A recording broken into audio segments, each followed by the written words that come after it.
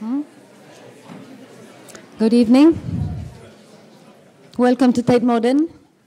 My name is Gabriela Salgado. I'm curator of public programs, and I'm very honored to welcome Ai Weiwei to the Star Auditorium today to celebrate the 11th Commission, the 11th Unilever Turbine Hall Commission um, at Tate Modern. Since we opened in 2000, the Unilever Commissions have had a lasting impact and have provided unforgettable experiences for over 24 million people. This year's commission by Ai Weiwei is entitled Sunflower Seeds, and I really hope that many of you in the audience have already had a chance to see it and engage with it in the Turbine Hall. Ai Weiwei Sunflower Seeds combine an epic sense of scale with an intimate level of craftsmanship. It is a truly sensory and immersive installation which visitors can touch, walk on, and listen to as the seeds shift beneath their feet. It is made of over 100 million sunflower seed husks, handcrafted by hundreds of skilled artisans in China. The seeds are apparently identical, but actually unique. Although they look realistic, each of them has been individually made out of porcelain. To complement the commission, a very important part of it is that Tate Media has produced a documentary film about Ai Weiwei, which is being screened in the space and can be viewed on Tate's website as well. Also reflecting Ai Weiwei's own engagement with the internet, blogging, and Twitter, Tate has developed an interactive project called One to One with the Artist. It's also in the Turbine Hall under the bridge. Visitors to the Turbine Hall space can send a video question or comment to the artist. Each week until May 2011, I will select new videos to respond to and will post his answers on Tate's website. A commission of this magnitude would have never been possible without the support and confidence of Unilever, who we thanked for their continued sponsorship of the series. With Unilever's generosity, we have been able to commission new work by some of the world's greatest living artists. Unilever has also now been sponsoring one of the pillars of our learning aims for the last three years, the Turbine Generation Project, which is an international online education project which aims to partner schools across 30 countries by 2012. Now, about Ai Weiwei, born in 1957 in Beijing Ai Weiwei is one of China's greatest artists. Ai's multiple roles as conceptual artist, curator, publisher, self taught architect, public intellectual, and internet champion reflect on today's society, using himself as an example to encourage individual responsibility. Due to his acute interest in materiality, his work often uses a traditional formal language and classical methods of craft and production in China to encourage reflection on the geopolitics of cultural and economic exchange today, as well as to question the cultural value of objects. Tonight, he will be in conversation with Dr. Katie Hill, senior lecturer in contemporary Chinese art at, at CSD, Center for the Study of Democracy, University of Westminster. She is currently developing the Contemporary Chinese Visual Culture Project a new resource base that will comprise a website, a bibliographic database, and an archive of all aspects of visual culture in China, Taiwan, Singapore, Malaysia, and the Chinese diaspora. Dr. Hill completed a PhD in contemporary Chinese art at Sussex University.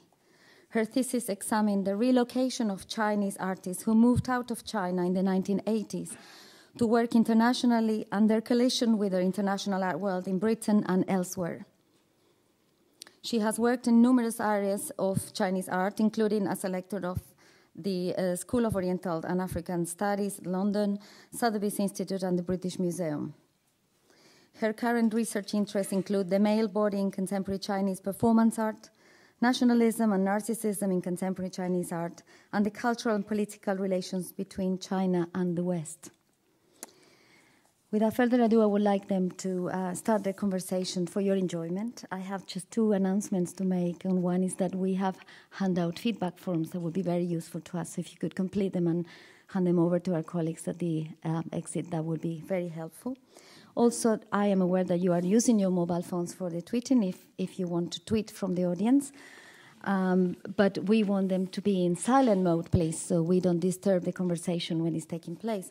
At the end of their conversation, which will last approximately for an hour, we will open to questions and answers from you, from the audience, and also from the world, because we are broadcasting live and people will be tweeting. You will be seeing the tweets coming on the screen after the conversation ends. So enjoy the event and thank you very much for coming.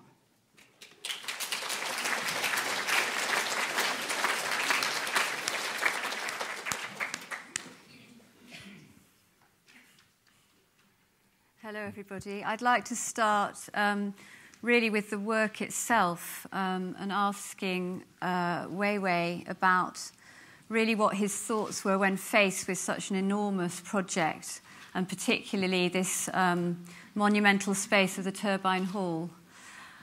So, how did you feel when you were actually confronted with this space? Uh, when I accepted to do the project, I came uh, come to um, this Turbine Hall twice to just look at the space. Um, actually, you use the words confront with the space. That's uh, what I, I try to avoid to have this kind of confrontation with the space. Uh, you, I see many projects uh, um, before me uh, had a very uh, uh, interesting temptations and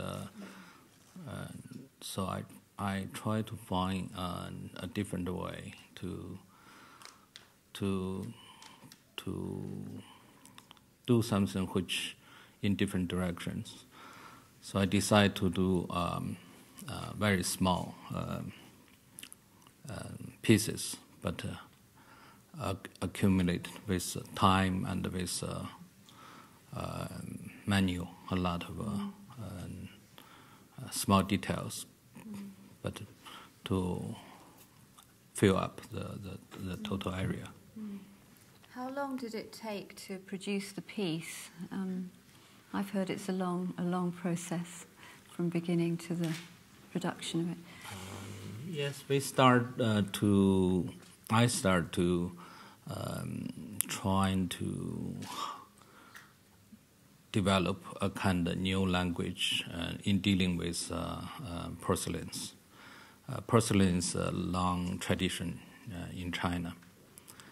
it has been over a thousand years of practice. mainly is making the, the kind of very um, practical objects for the actually the place at I'm doing my uh, porcelain is in Jingdezhen. Uh, they have a strong tradition in making uh, vases or bowls or dishes for the imperial family, and through very different uh, dynasties. So I try to uh, to to use this uh, very traditional scale and uh, develop uh, into a more contemporary language. So for today, uh, people still can appreciate in different angles. Yeah, the, the um, and uh, I'm sorry. The actual time oh, of oh, yeah. developing is about two and a half years, mm-hmm.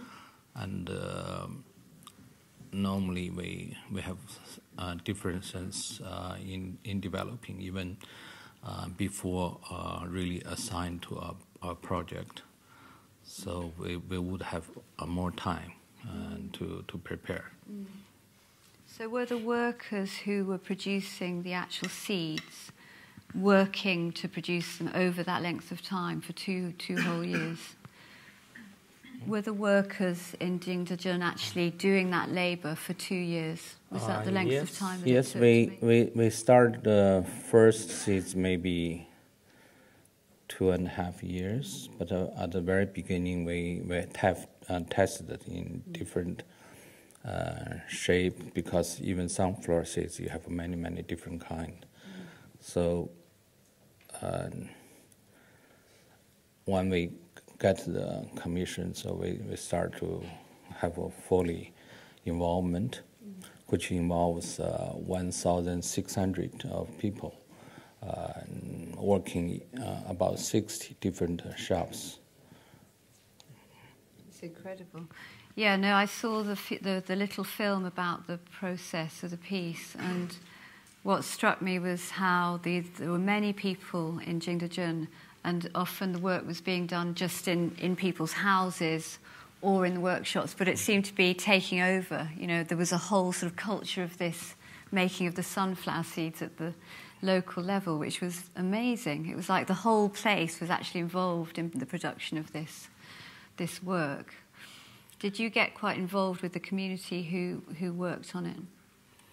Um, I have my own uh, kiln here, there, so from time to time I, I go to there uh, to see different projects. Mm. So I'm very familiar with the process. Mm. But the um, porcelain work is really have a uh, it's quite complicated. Have a 20 to 30 different kind of steps. so different people are working on different sections. Mm. Yeah. So really, as a contemporary work, it's very much engaging with Chinese tradition, and the, the production of ceramic work in China is something that goes back, as you say. And I was really interested to, to see this idea that you have through working with porcelain to produce something which is so like the real thing, you know, so so accurately depicted. And it seemed to me that it's you know, partly a, comment, a commentary about the kind of relationship with the production of culture and how, you know, representation gets very close to what, what you want to depict and the reality of it. Um, in the in the actual experience of the turbine hall is amazing. It does feel like these seeds are very very close to the real thing. I was very struck by the kind of um, the level of skill of each single piece.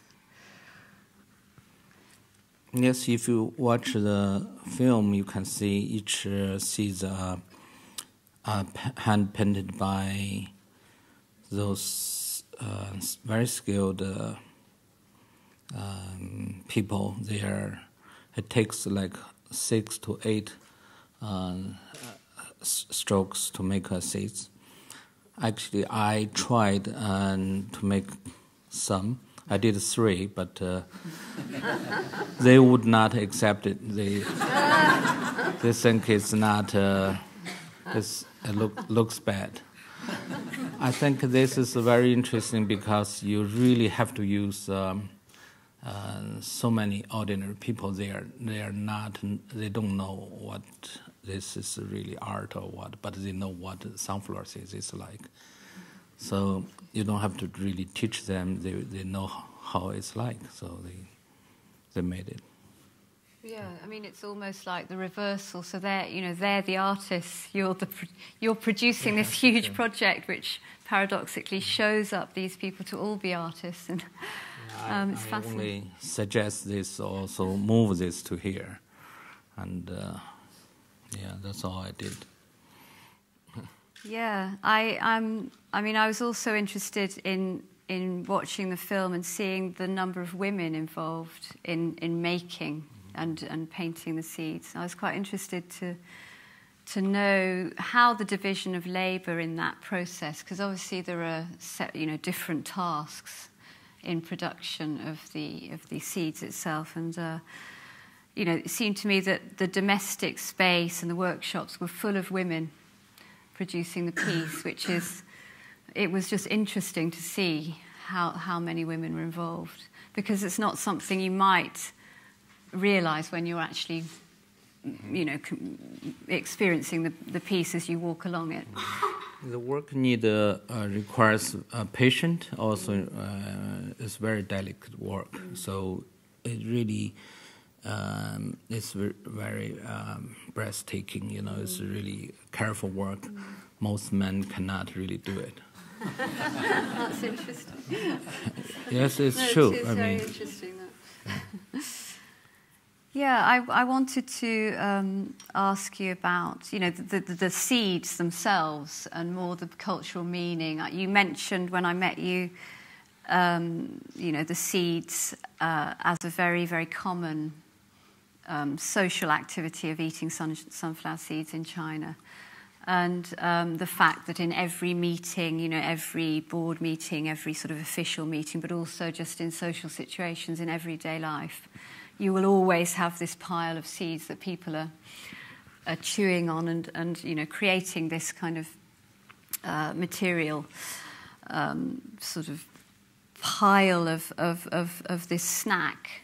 And I think, um, you know, for me also it resonated as a, a, a feature of traditional art that, you know, the seed is in traditional prints are often depicted as the, you know, the children, the children, the, the generations of the future.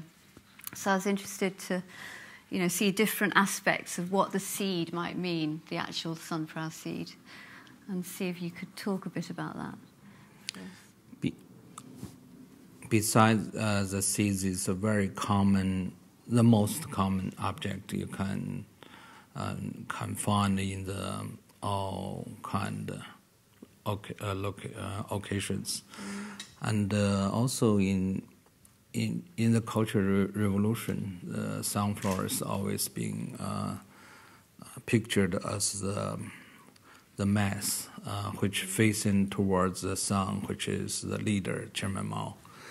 And uh, this vocabulary has always been used as uh, uh very symbolic and uh, meanings. And uh, actually, in the revolution, there's not so many vocabularies.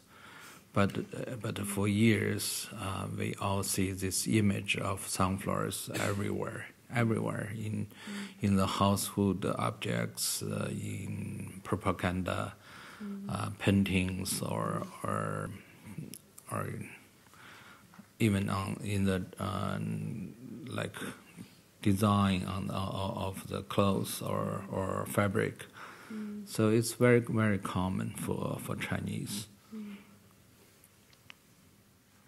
And do you think that um, the sunflower in the revolutionary culture was used by Mao as a way of taking on traditional aspects of Chinese culture and, you know, appropriating it for the revolution because it's something that people understood?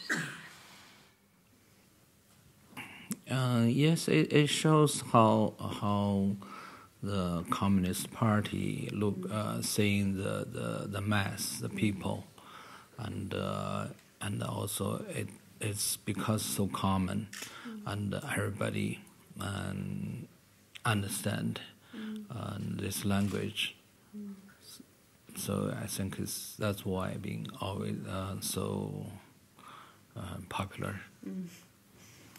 I want to move on to the, the sort of broader meaning of the work and how it might be read as um, a sort of metaphor for, for, again, the masses, but also just humanity and possibly just the enormity of Chinese, the Chinese population uh, as a country which has, you know, 1.4 million people and is, um, being seen as a, a huge force which is going to change the world.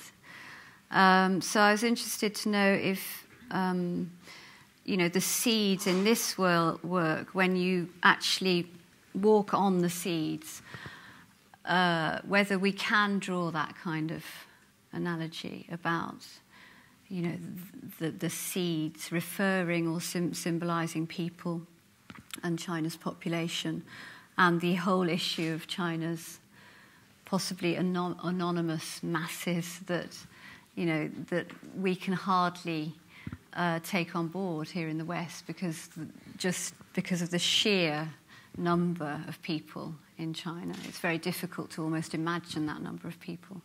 So I wondered if, you know, that has, for you, is relevant in, in the making of the work in the process of uh, making the work and, and uh, actually when you look at the work uh, it's very hard to imagine or even to, to make a, a very rational uh, comparison to to what it, the number means this is uh, maybe one twelfth of the Chinese uh, population, but mm. when you look at it, it's just uh, you completely lost the the the, the, the kind of relation and uh, contact, and uh, so I th- yeah, I often think about that. Mm. mm.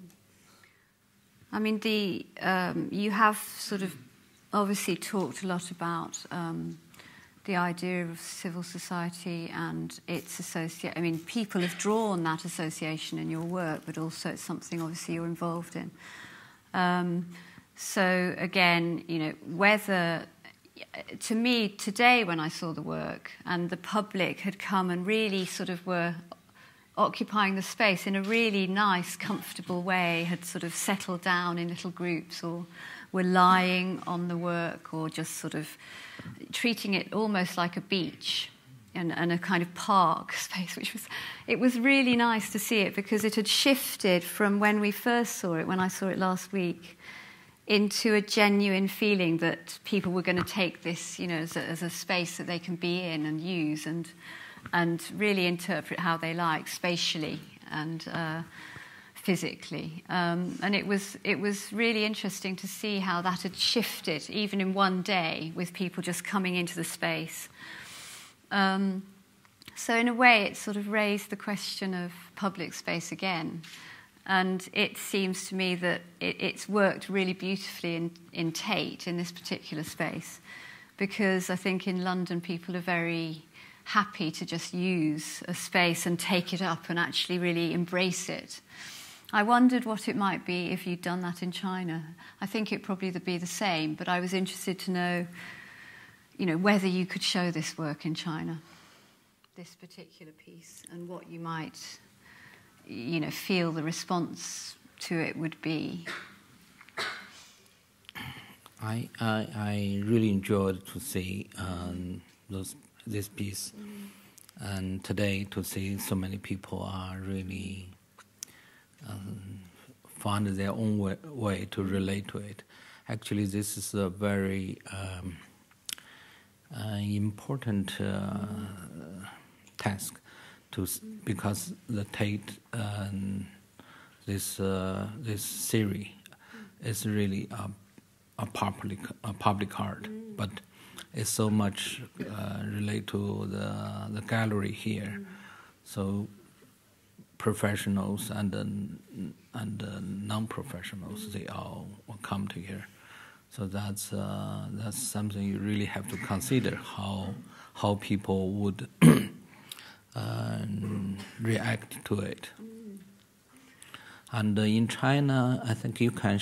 And myself, I of course nobody invite me to show, but if I show it in there, I think uh, maybe it's much less uh, discussion, you know, uh, because China, uh, this um, very seldom uh, discussions uh, about art and or or even criticism mm. about art pieces. Mm.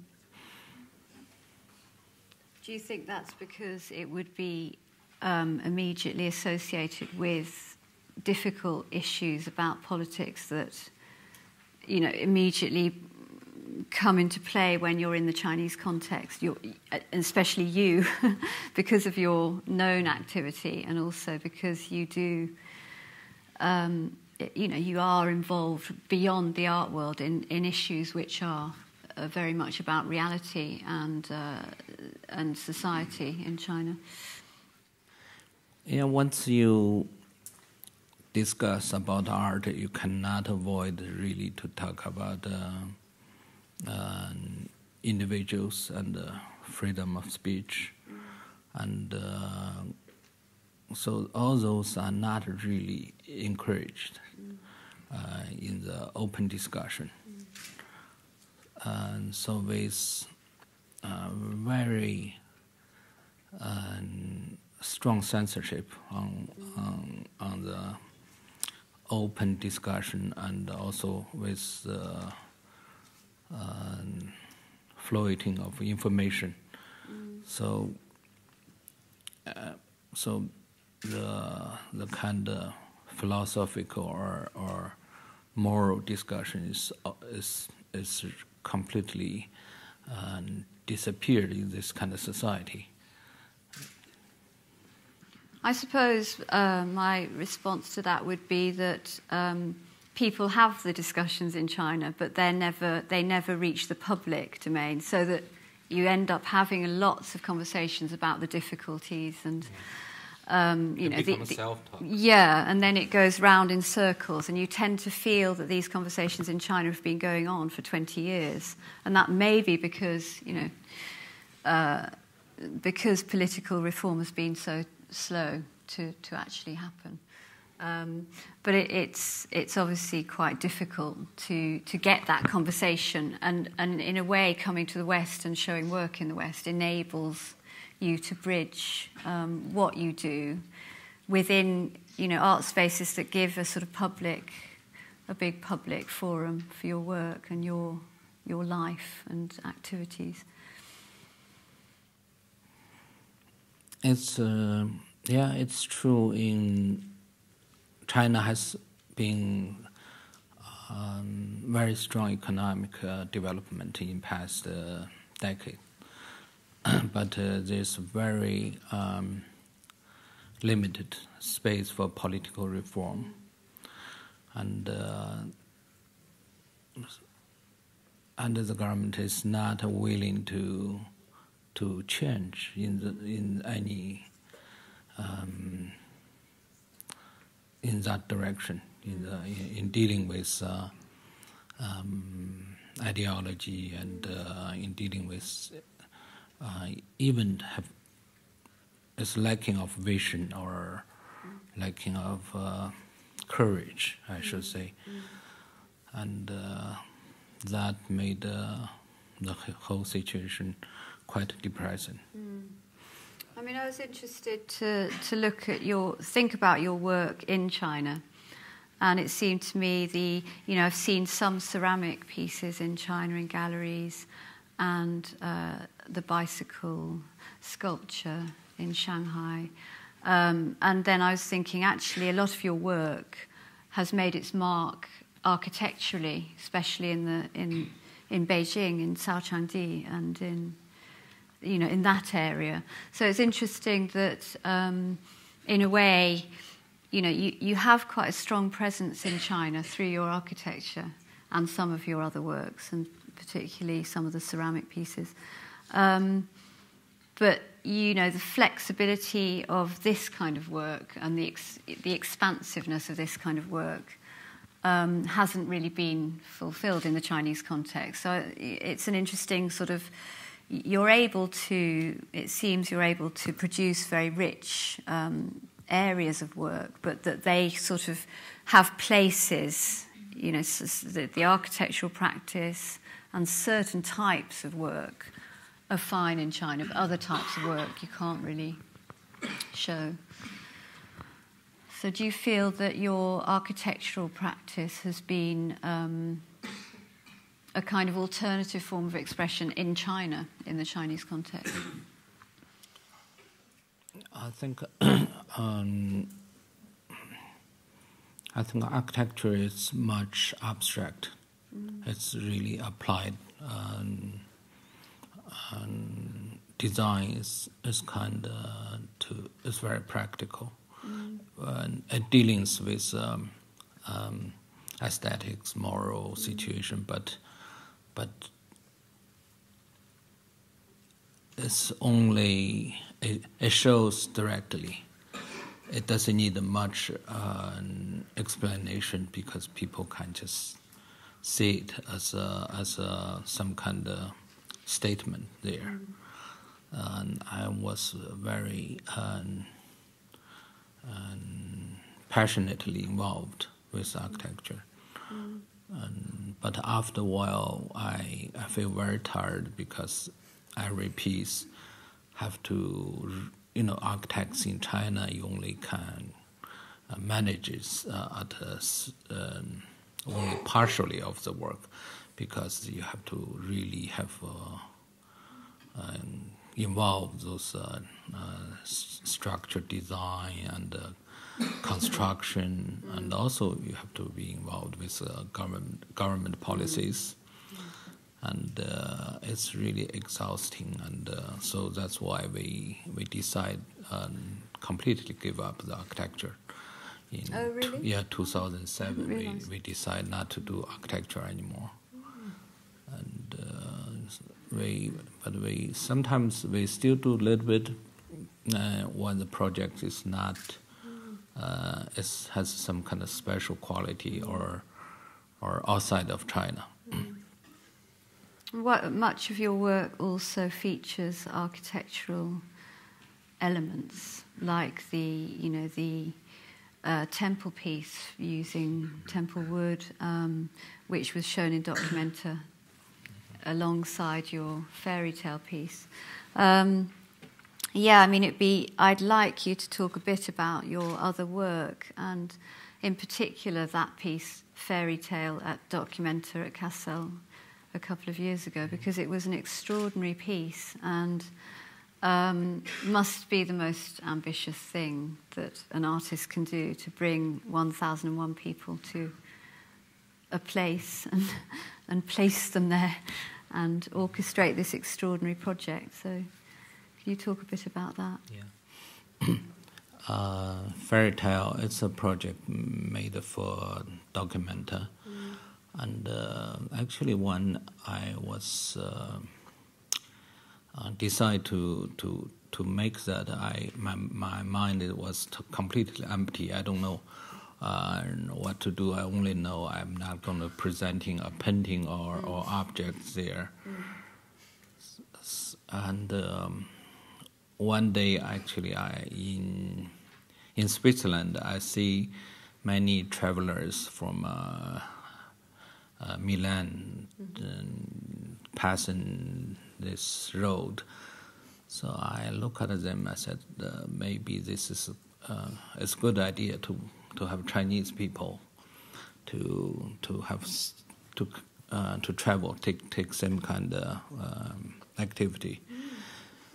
But for China, uh, for Chinese people to travel is very difficult. It's not like in the West you can everybody can just get a passport and uh, and a visa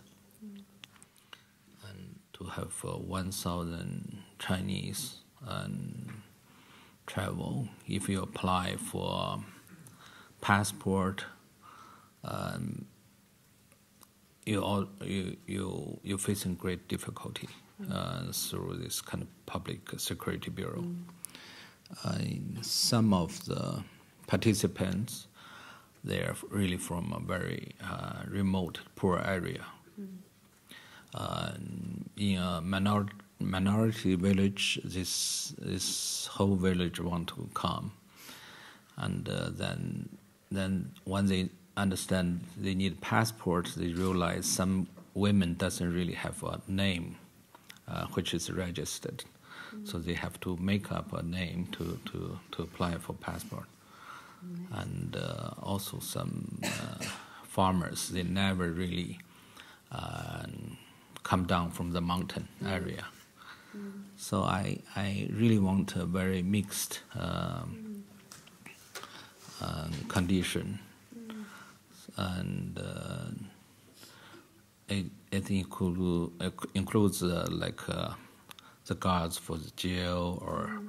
or or highway um, uh, policemen and uh, you know all kind of people. Mm and uh, I select them and through computer and communication mm. because they always have um, relatives or, or people can help them on that matter and uh, very and, and convince the German ambassador to to give green light you know because mm. it's very difficult for people to provide the necessary materials mm. like uh, banking account or, or working units, uh, so some kind of uh, proof. Mm.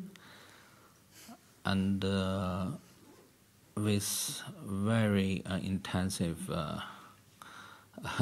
kind of wor- working um, team, we we achieved it, and uh, it, it was a very um, unforgettable experience. Mm. We we built uh, at uh, their dormitory in Germany and uh, brought cooks and mm. Uh, made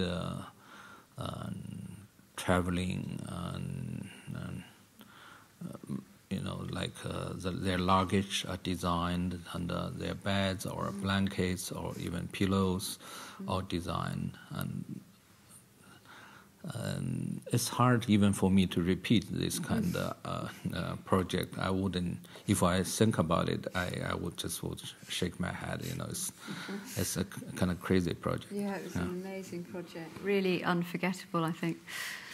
Um, yeah, I want to move on a bit to um, your relationship to the West and, in a way, the sort of issue of translation of your work and how perhaps um, in order to translate to a global audiences, it has to retain a simplicity and possibly a kind of generality. Um, and so that, you know, in a way, uh, it seems to be that some of the bigger projects um, end up being monumental in order to, to communicate very directly something outside China. Um, and obviously, with the, the piece you did in Munich, which was the was it snake ceiling using rucksacks from the children who had died in the earthquake. Um, that's a, a clear um, translatable work in that it's about a specific event and also it relates to very strongly to humanity um, and the tragedy of that event.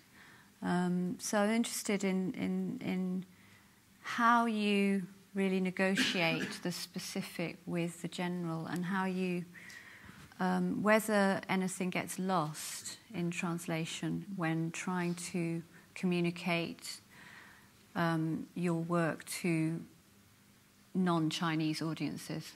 So. I think a lot of time is uh, it's just a simple statement uh, and uh, a statement without um, very um,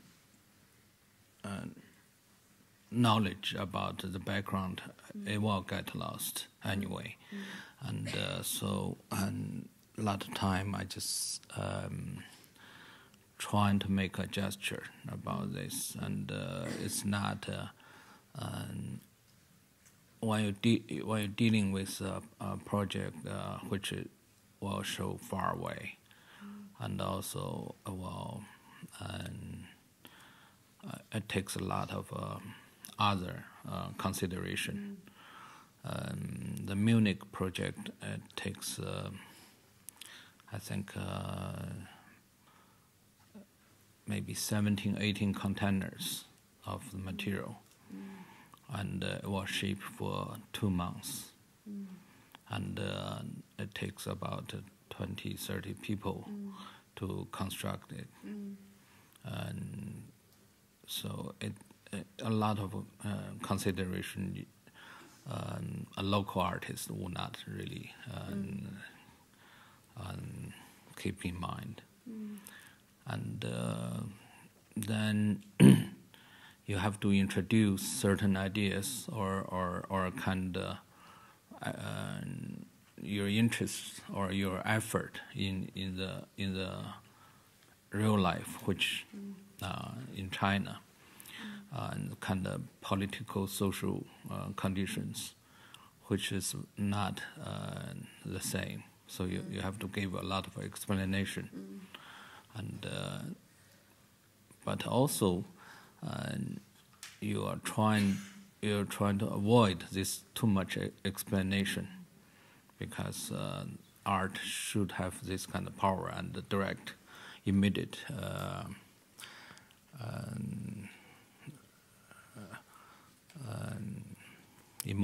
and uh, mm. and the texture and uh, this kind of awareness. So you don't want to rational to destroy that part. Mm. Yeah, I was thinking about, um, in a way, the sort of difficulty of uh, understanding your Twitter activity as a major new activity that you've been doing, and obviously a very important one. Um, and you know, because that takes place in Chinese, essentially, um, there are limits to, to that activity, and it becomes quite bounded in the Chinese context, or maybe could reach out to uh, anybody who, who is conversant with Chinese language. Um, so, yeah, I was interested to know what you think the extent of the, uh, your communication can be with the problem of your, your activity within the Chinese situation in Chinese, you know, using, using the Chinese language. Um, and how that can sort of reach out beyond that, that situation. Uh, as an artist, I often feel the kind of awkwardness to mm. being artist in China, but not showing in China, but mm. showing in the West, to very different audience, and uh, and the kind of daily activities uh, I I uh, I'm very active uh, in China. It's mostly on on the internet. Mm. I used to have my blogs. I, I, write every day, and I I write put two or two to three articles per day, mm. and um, over about two or three years, I had uh, like two thousand seven hundred articles, till the government cannot bear with it. They shut it down.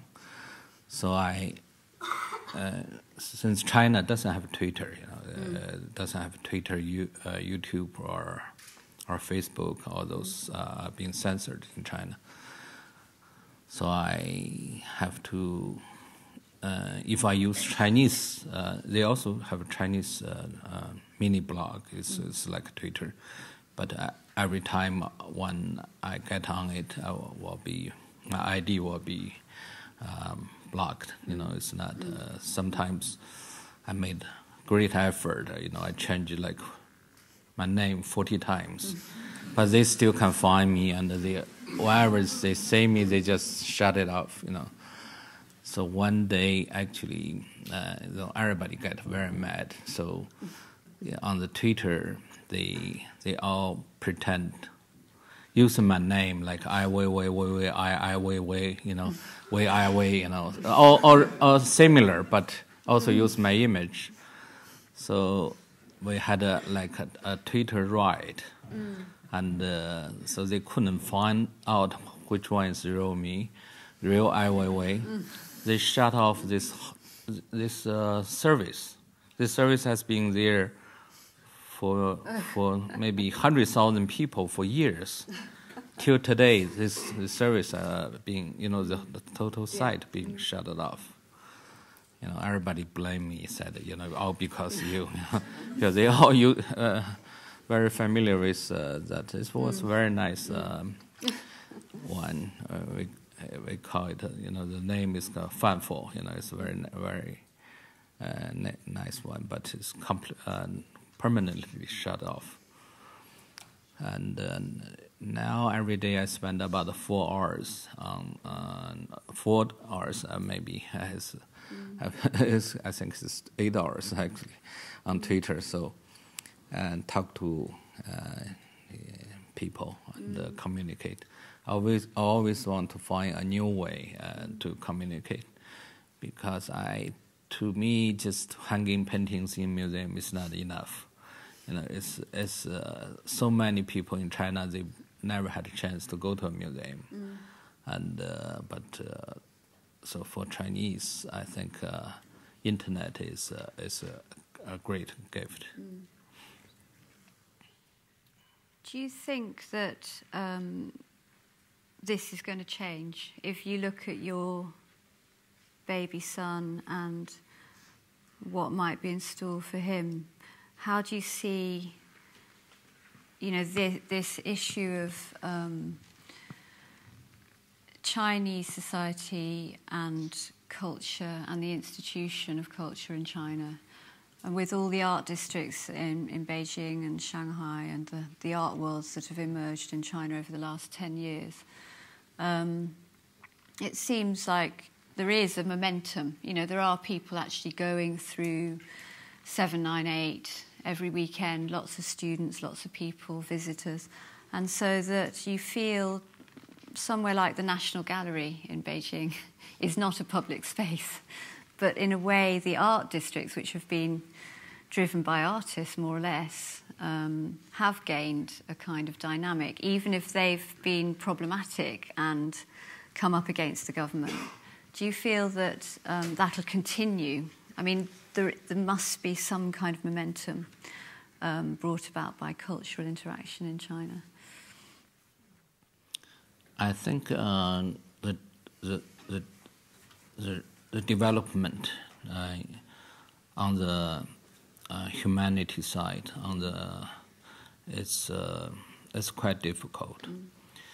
If you have a, a government which uh, not a, or you have a, a, system which forbidden of uh, freedom of information and uh, exchange, and uh, so that would uh, limit the, the, the, the, possibility of mm. to to create to be creative, and this is. but if they encourages those, this government is going to be finished by very soon. You know, it's not, it's not going to stay. Mm-hmm. So, seems they seems they cannot find uh, a better solution. So they they just uh, trying to maintain uh, this kind of stability. China uh, today is spending over 400 billion. Mm to in internal stability, which is higher than their army and defense uh, cost, and uh, it's maybe one third of the education mm. and, and, cost. Mm. So you, you see a, a, nation like China, they have Olympics or World Expo, and trying to um, put up the kind of nice image mm. to the world to draw more business. But at the same time, after 60, 60 years of uh, mm. control, still wouldn't allow people to have a liberty to freely exchange their ideas, and I still put people who have different beliefs different thinking in jail behind the bars, or if anybody want to to do something to change it, they can make them disappear. You know, nobody would answer. And give any kind of uh, discussion on these matters. So it's it's a government really refuse to communicate refuse to, to build up a more scientific way to solve the problem. So I believe this is not going to be lasting. You know, it's, uh, with today's uh, condition. Mm-hmm. So you think there will be change? Yes, I'm sure it's going to be change. They cannot uh, afford this to to meet the challenge. And what do you feel about um, the recent announcement of Liu Xiaobo being awarded the Nobel Peace Prize, which, of course, everybody is absolutely delighted. Um, but, you know, a lot of the response in China has been quite negative about that. And it's an interesting problem, you know, how how to to change attitudes of nationalism and to open up ideas which have been excluded.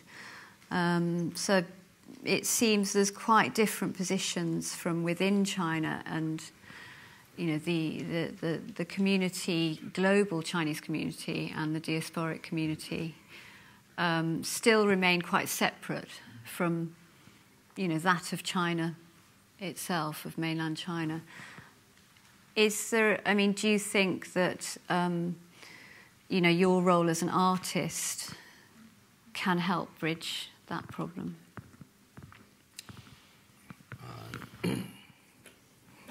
I think uh, being an artist in China it, it means you have to find a new way to to express yourself and to encourage individuals to to to be more uh, to have more imaginations and to use new forms.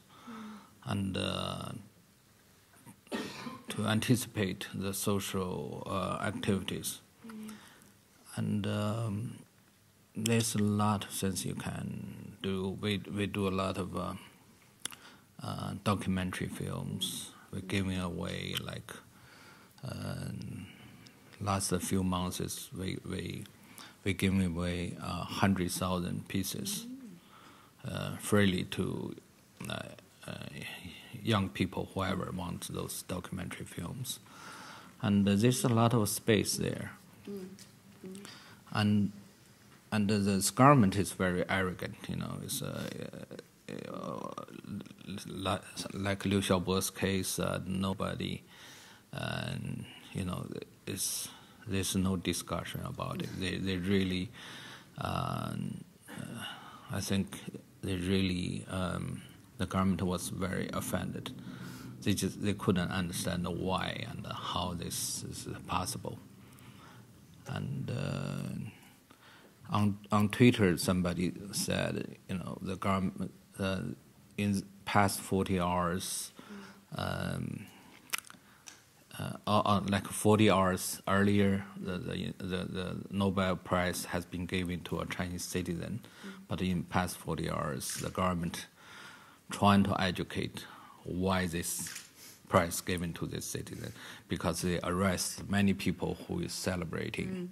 this. So, so, so people, the young generation, they start to realize uh, something is wrong mm. because the education is quite bad and uh, the information is very limited, and uh, so still many people uh, is not aware what is wrong. Mm-hmm.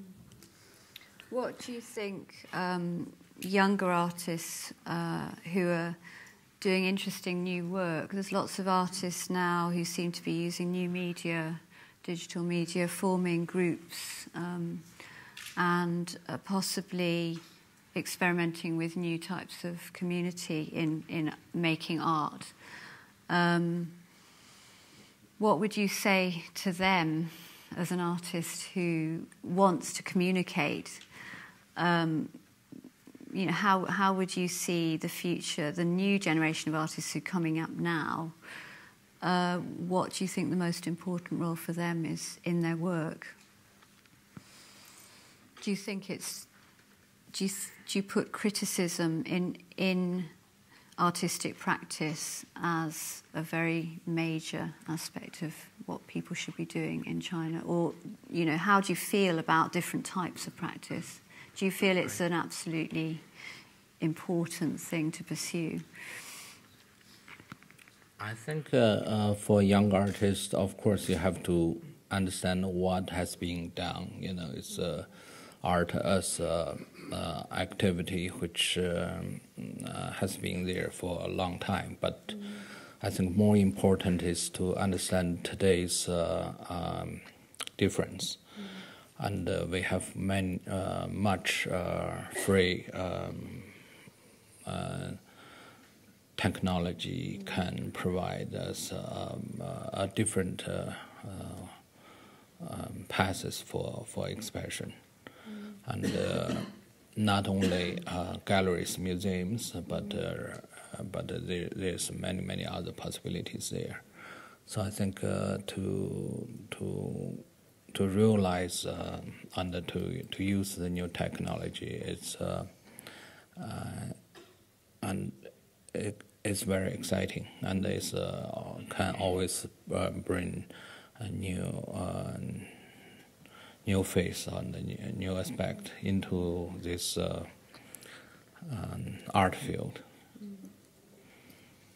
I mean, it seems in China that, in a way, the art world itself is rejecting people who try to reach beyond the art world, but there are a certain number of artists who've been trying to do that for a number of years um, and then find themselves really sort of outside the gallery space, which is a very difficult thing. Um, and yet, in a way, their practice is much more extensive, as is yours. Uh, so, you know, there's the problem of the, uh, the art market actually reducing the possibilities for creativity in China and maybe defining it too heavily. Do you think the art market and the issue of commercialism in art has delimited what could be more expansive forms of art practice in China? I think there's no ideal situation for this, and I think uh, uh, the market or commercialization is always there. Mm. I, I, think uh, only an artist who is um, uh, strong enough or do have some uh, meaningful uh, message and and always can come out. It doesn't matter and I think the condition is not so important. And uh, I'd like to ask you a bit about your role as a curator and uh, the really radical show you produced in Shanghai called Fuck Off in 2000, um, which really reached the limits of what could be shown in the gallery space with lots of um, fairly horrific uses of the human body and um, pieces of flesh, shall we say, uh, brought out of morgues, um, showing very quite shocking uh, artworks. And in a way, that was an extraordinary show because it was extremely radical and produced a lot of interesting questions. Um, do you I mean, the, the, the, sort of work you were doing around that time and before, leading up to the time after you came back to China from New York, um, it seems that there was a lot of very interesting activities going on in the art world bef- before it had really become um, visible and had emerged in, in, a, in, the form that it is now. Um, do you still believe that those kind of activities um, and the experimentation with material and form could could be uh, pursued in China, or has it just clearly come to an end? That kind of level of experimentation. I I think there's always artists or or or people there trying to to express uh, through their own uh, understanding and uh, all, also more, uh, I, I say more honest uh, to the condition or living condition or, or, or, or the, the, the, true situation there. And, but I, on the surface, of course, you know, with uh, com- so commercial the the, the art uh, market there, so you and today you uh, you don't see so much. It's not uh, so um, popular. Mm. What uh, I um, did at that time is trying to create a new um, possibility through. Um, publishing books and uh, underground uh, uh, organize underground shows and and to encourage this kind of individual effort. And today, with so many commercial galleries and space, and the condition completely changed. And has that led you into using documentary film as a medium um, we should talk possibly about your film, uh, Lao Ma Ti Hua. I'm not sure how, how we yes. um, translate that, but um, the documentary which was which you made around the time of visiting Sichuan to attend the trial, to support the trial of Tan Zuoren, who had become uh, under threat due to his position where the buildings in the earthquake were concerned.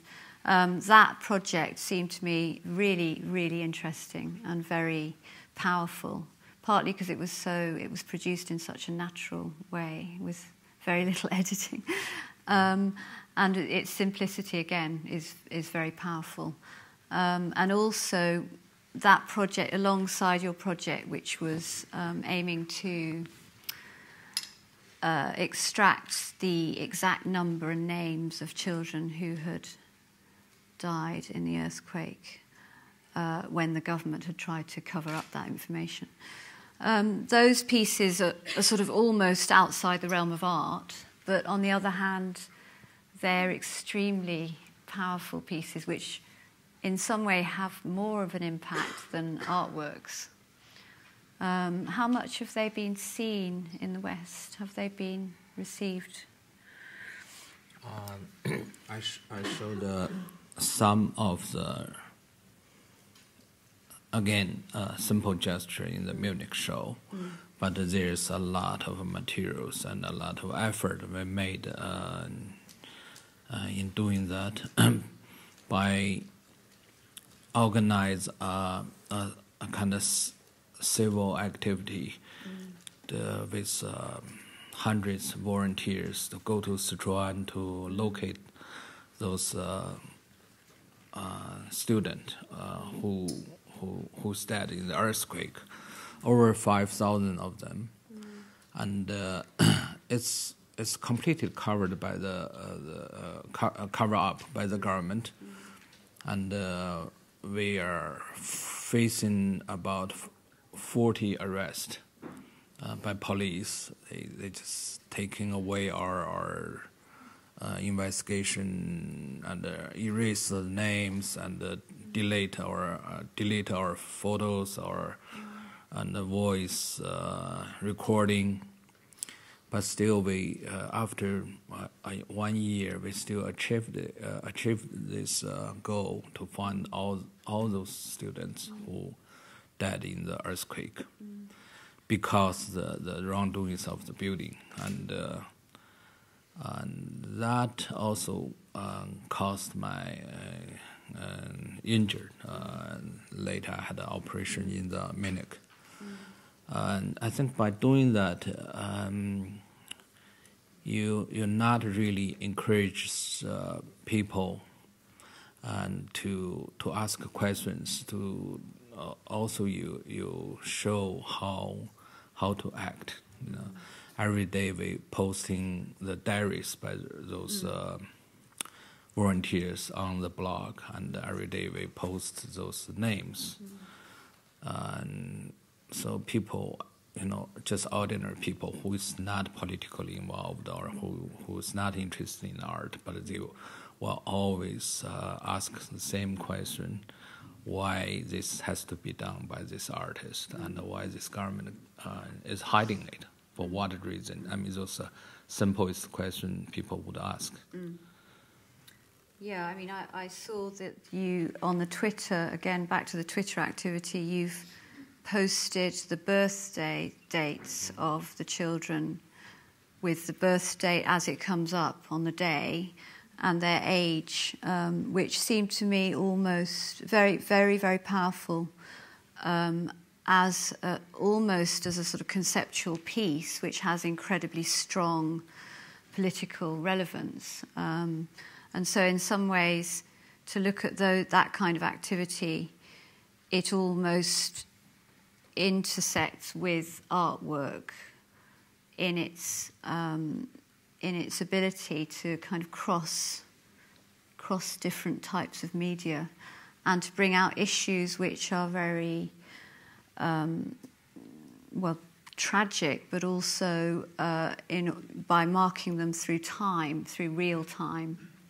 Um, and it seemed to me that, in a way, you know, none of this can really be uh, disentangled from what you do as an artist. I don't know if you agree with the, you know, that that it's all integrated into what you do, um, rather than one activity being sort of art and another being not art.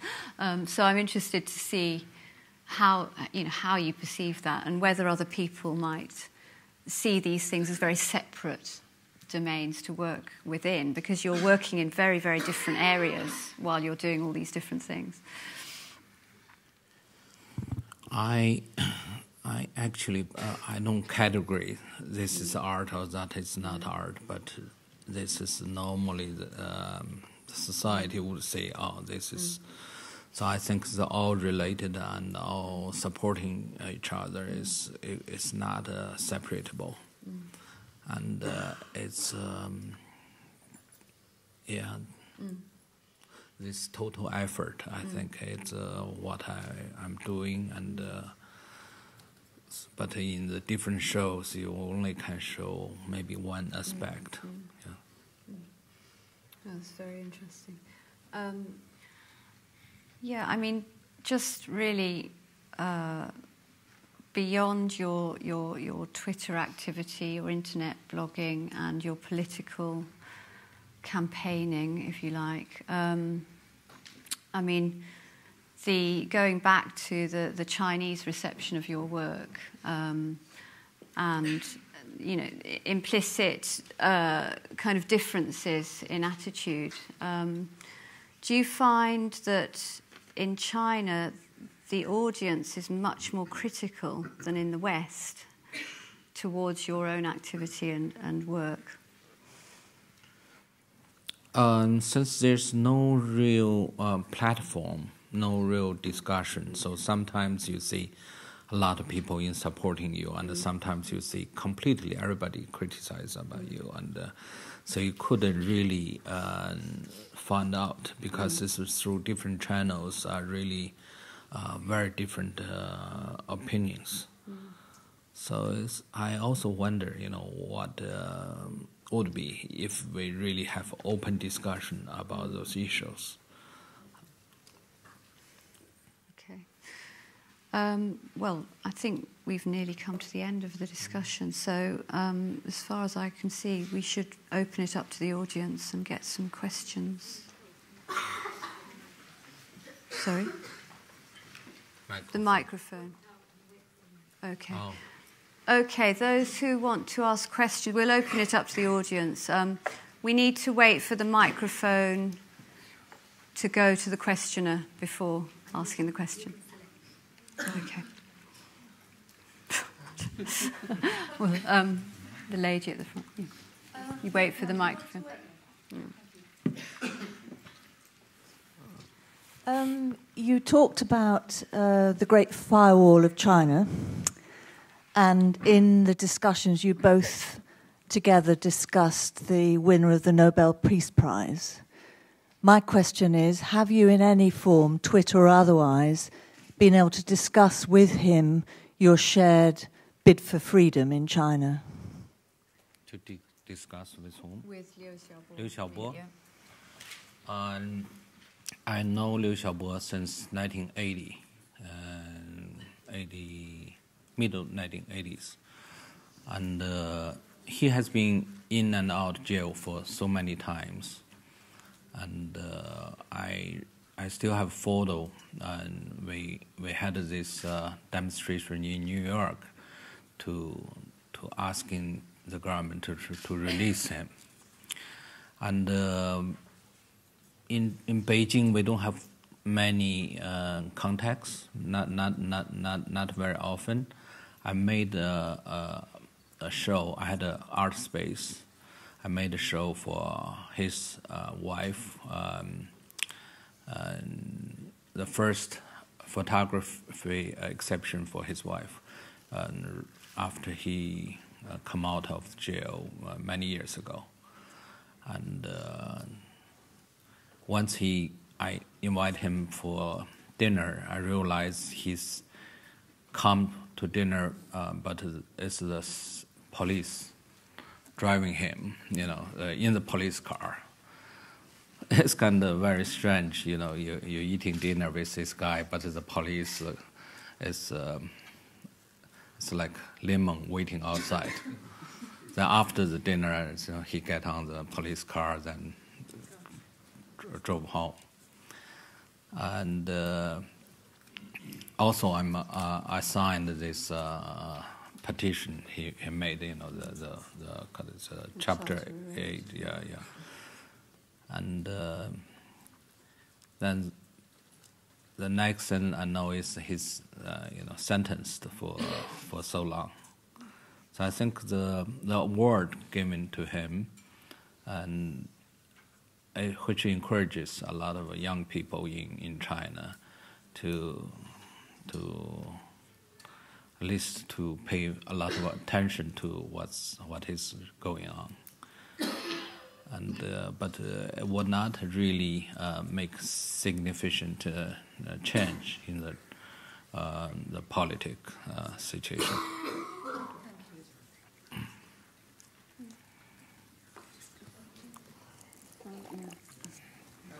Well, as much as I am in support of uh, Liu Xiaobo's release, I'm still quite baffled by, by his views, like by his support for the Iraq War, and uh, how he thinks China should go through 300 years of colonial rule by the Western society to achieve democracy. So I think this Nobel Prize has as much credibility as that they gave nomination to George W. Bush. So he was someone who was approved approving the war, the Iraq war. What's um, what's like um, so I don't think that anything to do with peace. But um, uh, my real question was that um, what prompted you to be so uh, radically political in recent years? Was it like uh, a coincidence, or was it accumulated over the years? Because uh, uh, when you, in the early stage of a career, you were as not, uh, you were not, you were as not political as you are now but was because uh, what the police, what the uh, national security did to you that prompted you to be more militant and radical? I wouldn't think myself as a radical, and uh, you know, if somebody have different opinion, and especially for me as an artist, uh, choosing different forms of expression in China, you're radical. But uh, if I'm in the West, I think it's very normal, you know. This person, what what Liu Xiaobo express or what I express, is a very um, common um, condition or common values which accepted by anybody in here. But in China, by doing that, the government very br- brutally put him in jail for 11 years, and uh, also there's no open discussion about what he did uh, and, and uh, you know why they sentenced him. Everything is done in in a, a kind of secret fashion.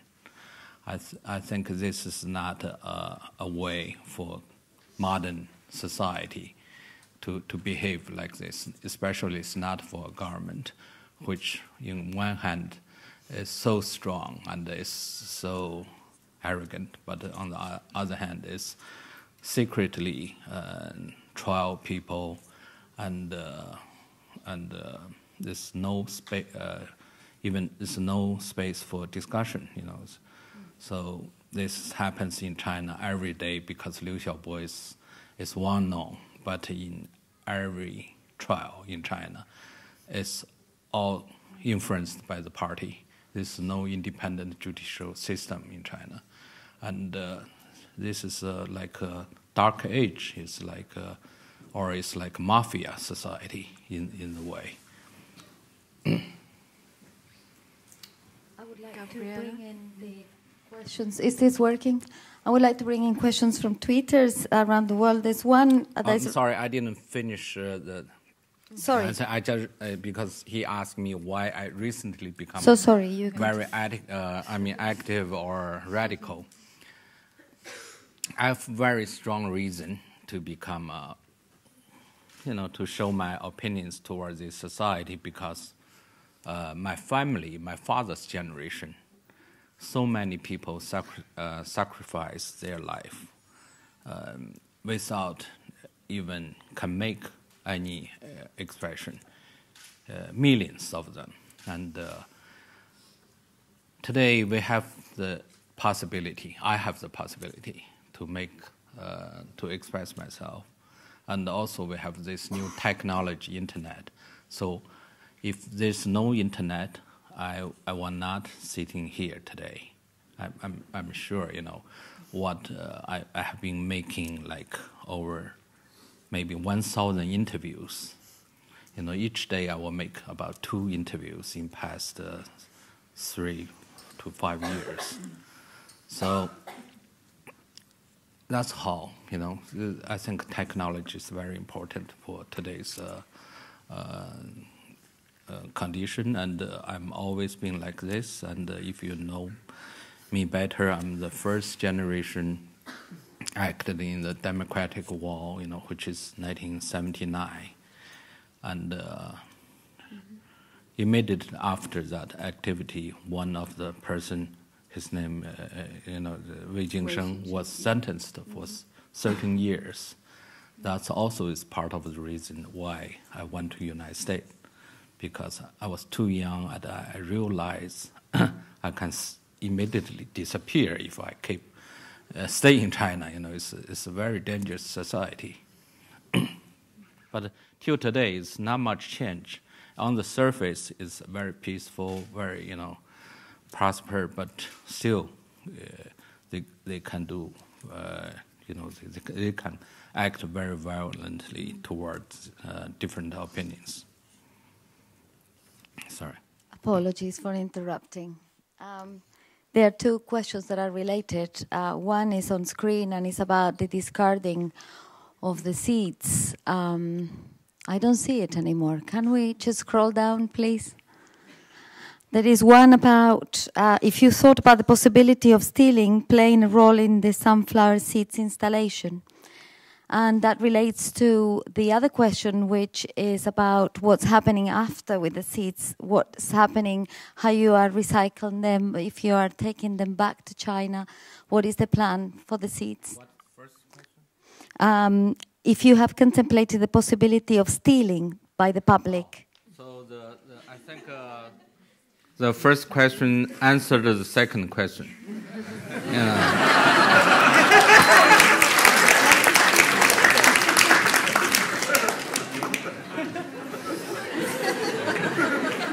Am I right? I'm, I do not know.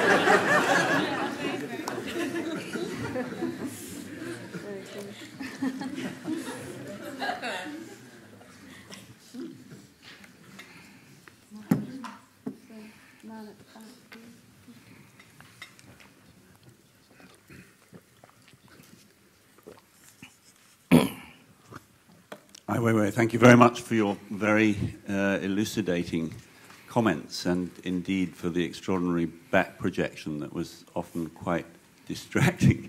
um, I just wanted to ask a simple question. How, how come you've survived?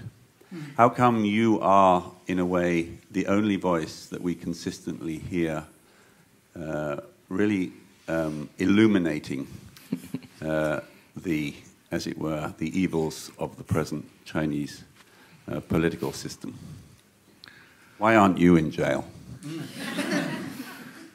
it's a, it's a really a question many many people ask me so many times.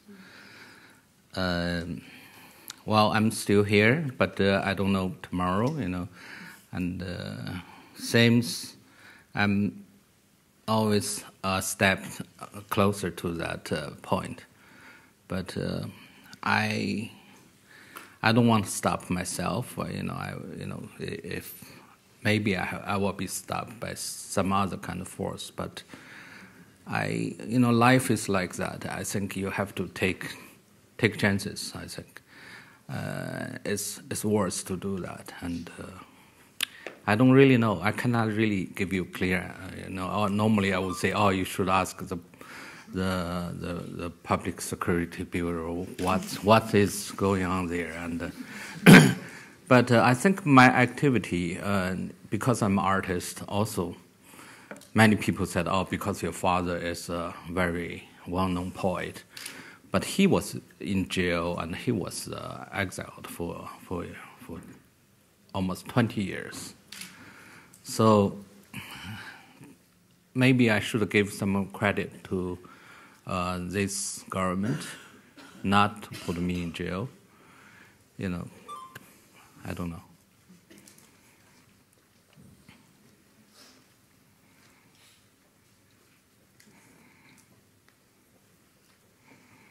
Hi, Ai Weiwei. I'm very glad to have the chance to talk to you uh, in a free area. Um, I'm a Chinese, uh, born in China and grown, grown up in China. And, um, well, uh, I know you through the internet and uh, through the uh, Twitter. And uh, you are like an icon in China now for, well, proclaiming the, the freedom and uh, the democracy.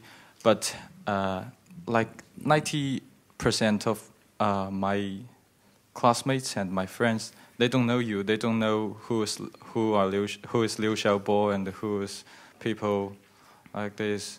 So it sometimes it makes me very sad. Like uh, we are trying to uh, make the society better, but uh, most people now they don't know who you are and they don't know what we're doing. So I just um, want some opinion, uh, advice. What should we do?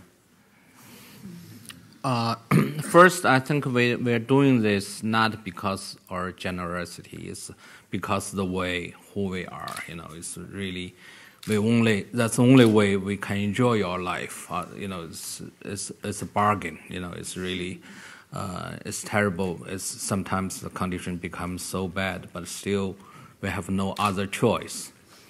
And uh, but uh, I think with the internet, gradually and, and uh, you know more and more people uh, like your age or even younger becoming involved. Um, but uh, I still think as artist, um, if there's not so many people uh, who who paid enough attention, it's my fault because I, I can do it better. You know, I always think there's some other possibility or the other form. I, I didn't I didn't use it well. You know, it's not. Uh, so yeah, I often think about that, and, and I think I believe that when there's difficulty or, problems, then that's the area need a creativity and need a, kind of expression, which can leading to to a better uh, condition. Sorry, I, think I, I, think I didn't make make my opinion clear. I, I want to say is uh, people who uh, climb over the wall to see uh, what we are doing is those people who are they uh, they want to know these things, and the majority people they don't uh, they don't want to know these things. They they don't have to climb over the walls. They just enjoying the happy life in China. So, how can we change the opinion of those majority? Um, yeah. uh, this may be uh, very hard to answer, but this is really a, I think a, a big problem for China to go to the, uh, well, democracy. I, well, yeah, as long as uh, um, there's no uh, freedom of expression, the maintain the stability is very easy. You know, the, the government knows it so well. You know, you you you have army, then you have the, the all the media. So you know that's how this is very simple, and uh, but I think uh, this, the, in the reality in the in the larger uh, picture, I think the government still cannot really control the the, the, the many factors like uh, like economic factor or or or more people want uh, freedom because they become better off in the in the in their life condition become better and many many other issues such as population uh, issues and, uh, and uh, so if they can really maintain that, that means it's, it's a very good uh, society. You don't have to change it. And uh, so this is it's really about a culture, about uh, it's a cultural question. It's not a really uh, uh, nobody can really um, um, can really can make some kind of change without uh, the majority of people have the same kind of dem uh, demanding.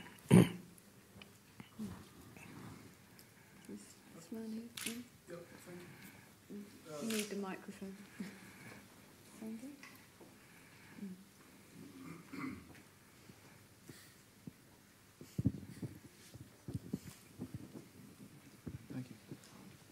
Good evening. Thank you very much.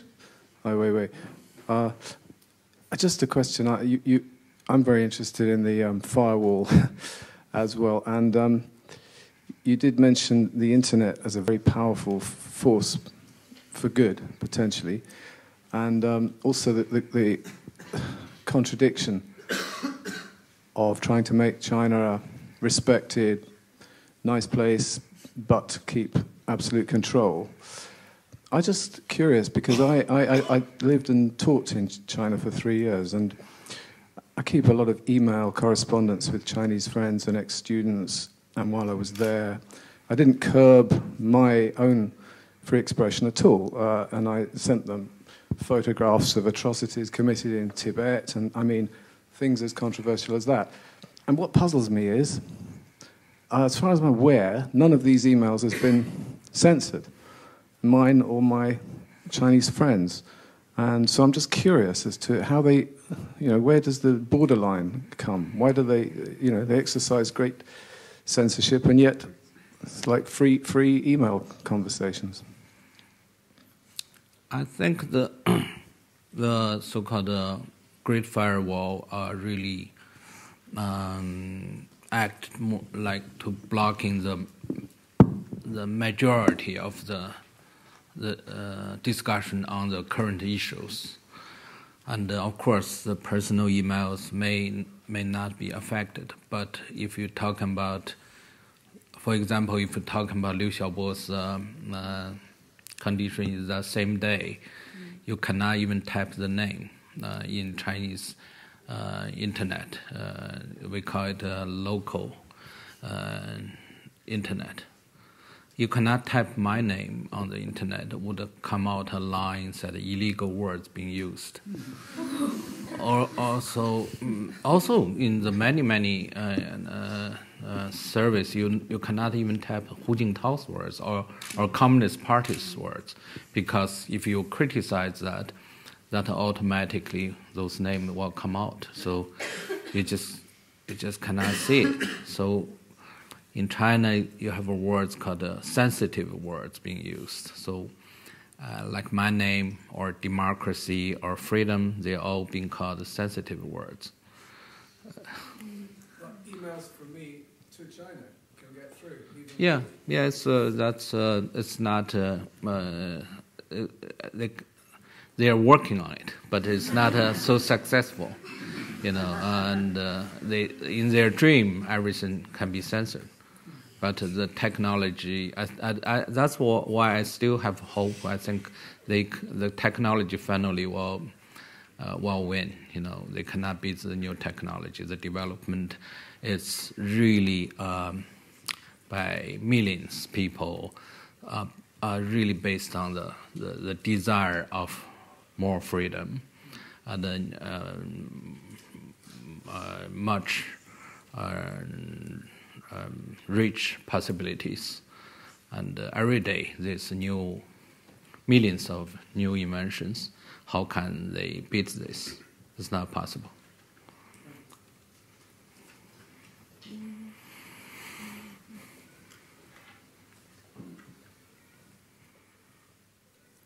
Thank you. Um, I wanted to ask if you have one overarching focus or intent behind all your work or whether that changes from project to project. Do you have something that drives you behind all of your pieces, or is it distinct according to the project? What is the last? Um, he said, does. Um, Do I have a plan? Is there a sort of driving force behind all your work? or is it each project is different? I, I think it, it, it seems quite different. And, you know, in, I remember in the 80s, I showed a, a New, New York gallerist of my profile. He said, I like your work, and, uh, but you have no cons- uh, consistency. You know, in the 80s, no consistency is a very, you know, it's like you're dead or something. but uh, we are living in a world which has no consistency, I, I should say. You know, it's really. Um, so I'm lucky I still can can be uh, this condition, and I, I, I think every artist doesn't matter how how you change, still there's uh, um, something which drives you or or well have um, a kind of quality or, or kind of intention there. My, if ask me my intention, I think I am more interested in a new possibility, uh, and uh, uh, uh if I can find some kind of new structure or to open up some possibility, and to to to not to be uh, the kind myself. I think myself is is uh, is uh, just an illusion there, and uh, if I, I, can make some difference or can make some change, I'm always satisfied.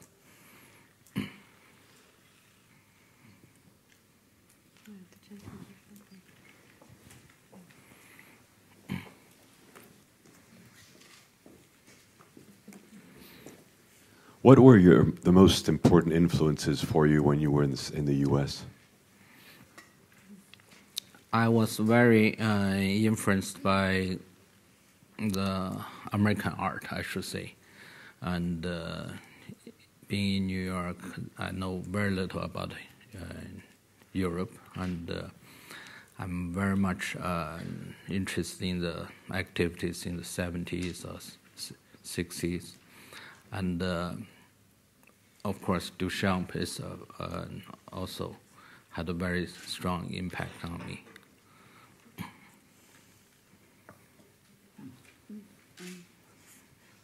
Thank you,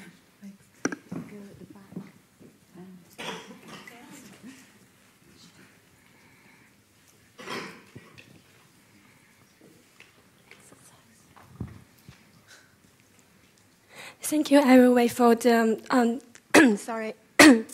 Thank you very much, Ai and Katie, for the conversation. Um, I have a question about the films um, has been uh, making. Um, well, in the past a year or so, you have been using documentary or documentation of your the production process of your work or your political um, investigation had become more and more important. And I um, uh, such as the film Lao Ma Ti Hua or the English name Disturbing the Peace, and, um, and the one um, on Yang Jia's. Um, Yang Jia uh, issues. I want to know: Are you going to use this phone, the camera, and documentary more often um, in your future work? And how do you see people responding to your documentaries in China so you're circulating a large amount of DVDs freely to the Chinese people who request them. Thank you. I think in the 1980s, I heard uh, uh, Spielberg said in the future everybody can make a movie, you know, because it's so uh, the the DVD.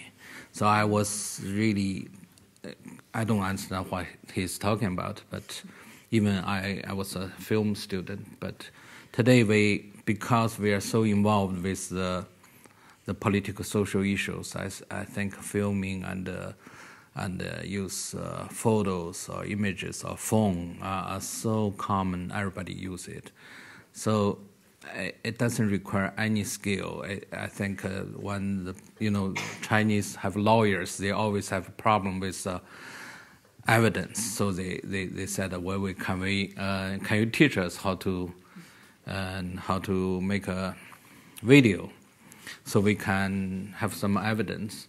So I yes I said yes. So they, they there's 40 of the lawyers come. They are all civil rights lawyers. So I teach them uh, the technique. So I said always turn uh, just turn on the the camera and uh, never shut off. You know, let it be on and. So that's all I teach them. You know, just make sure you have enough battery and the tapes. I think anything can be edited as a, a, great film. I mean, it's, it's no question about it. It's just to be need to be on. I think most people, in their life, their conscience and their it's not on. You know, they they're waiting for some kind of uh, gesture to make them to turn on. It's always too late. So let it be on all the time, and uh, you will be part of the history, and, uh, and the history will be part of you, maybe. and so now China is it become very popular. You know, uh, everybody start to record. I think for for this kind of society, the most important tool is to open it up, to, to let people know what's going on, you know, to show them uh, under the sunshine. And uh, so I think even those, you know, those people are very powerful, but still they're shy from that. You know, they don't want their daughter and their wife know what they're doing, and uh, they don't want to be appeared on the large screen. You know, it's it's so, and we don't have other possibility. You know.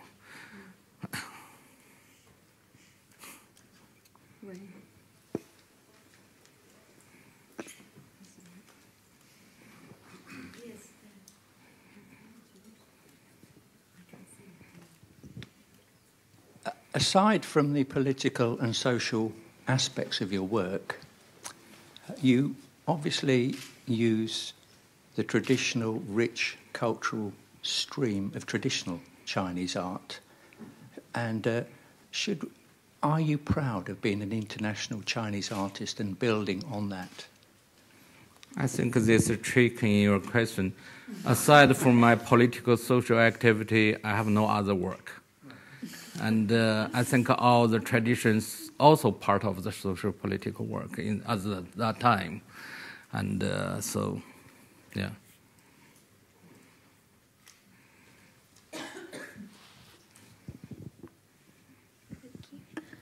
Um, I do have a question, but first I'd just like to thank you for creating a piece of work that people can actually touch and feel, because I find it particularly interesting going to an art gallery when you can't touch things, and I find it nice to be able to touch a piece of work because you can get a sense of it more.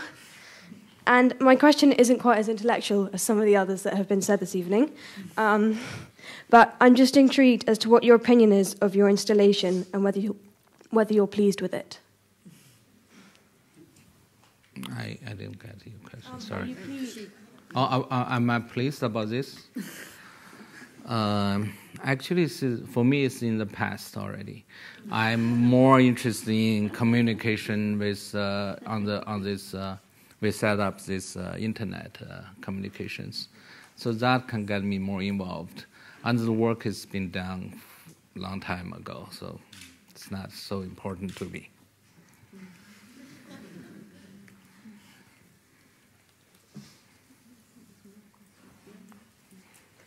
One more question then. Um, at the back. Sorry.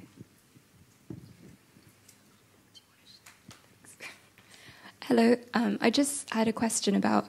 Well, I work um, in prints and drawings, so I was wondering how important drawing is in your practice um, as a finished um, product in itself um, because often we see lots of your work which is very slick, um, finished, and um, often handcrafted, perhaps not by your own hand, but maybe you're the you're sort of um, commissioning other people to do it. So I wondered if it was something that was sort of a private thing, or would you consider showing your own drawings? How important is it to what you do? Is it just the process, or yeah? About drawing.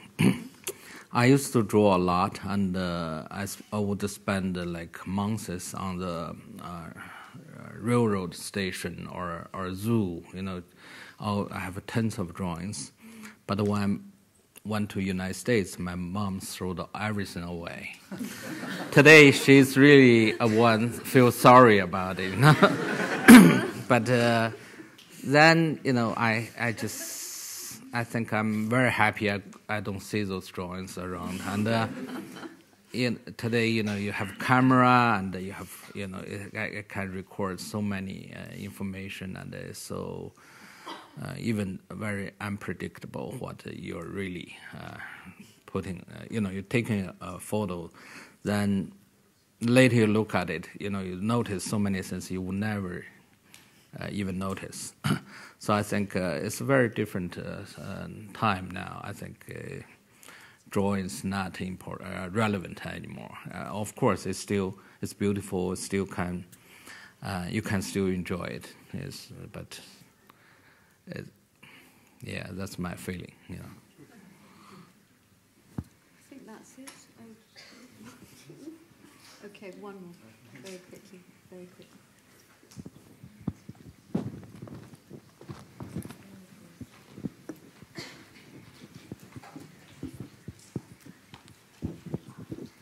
Um, you've spoken a lot about what you think uh, the Chinese public need to do to improve the Chinese way of life and the Chinese government. Do you think there's anything that we, the Western public, need to do to improve the Western way of life?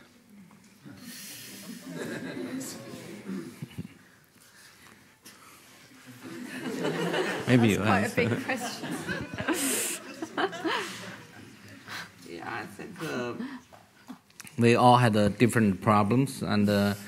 Uh, uh, n- nobody's really secure. I should say, you know, even uh, you know we have uh, we we all sense. Uh, we all have sense of uh, crisis of urgency. You know, it doesn't matter what kind of society we're in. You know, so. Thank you very much.